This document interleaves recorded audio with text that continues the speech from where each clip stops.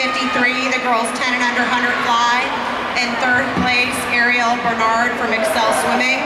In second place, Letitia Linnaeus from Eagle Aquatic Club. And in first place, Chloe Kim from Scarlet Aquatics with a time of 107.31.